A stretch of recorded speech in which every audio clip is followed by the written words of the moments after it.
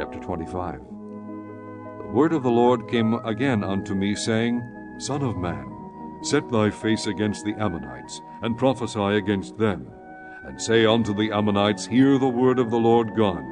Thus saith the Lord God, Because thou saidst, Aha, against my sanctuary when it was profaned, and against the land of Israel when it was desolate, and against the house of Judah when they went into captivity. Behold, therefore, I will deliver thee to the men of the east for a possession. They shall set their palaces in thee, and make their dwellings in thee. They shall eat thy fruit, and they shall drink thy milk. And I will make Rabbah a stable for camels, and the Ammonites a couching place for flocks. And ye shall know that I am the Lord.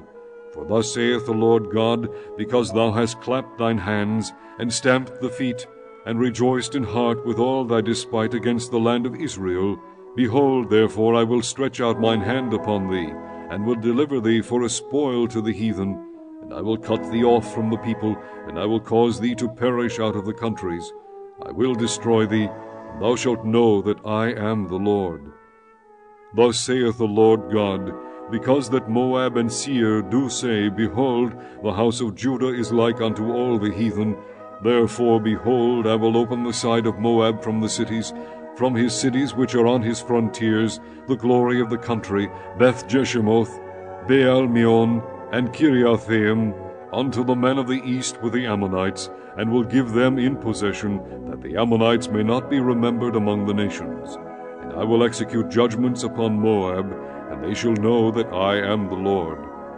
Thus saith the Lord God, because that Edom hath dealt against the house of Judah by taking vengeance, and hath greatly offended and revenged himself upon them, therefore thus saith the Lord God, I will also stretch out mine hand upon Edom, and will cut off man and beast from it, and I will make it desolate from Teman, and they of Dedan shall fall by the sword. And I will lay my vengeance upon Edom by the hand of my people Israel, and they shall do in Edom according to mine anger, and according to my fury, and they shall know my vengeance, saith the Lord God.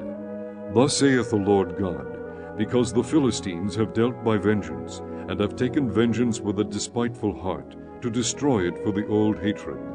Therefore thus saith the Lord God, Behold, I will stretch out mine hand upon the Philistines, and I will cut off the Cherethims, and destroy the remnant of the seacoast.